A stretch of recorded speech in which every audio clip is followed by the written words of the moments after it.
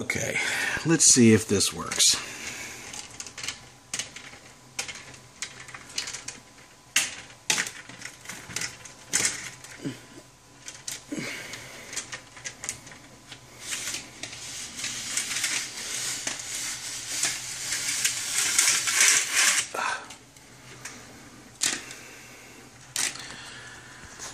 Okay.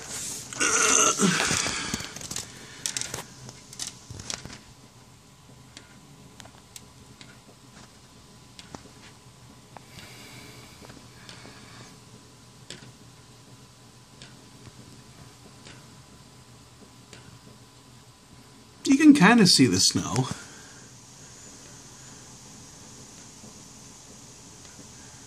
Those little twinkles that are in the air every now and again, those are flakes of snow that are falling.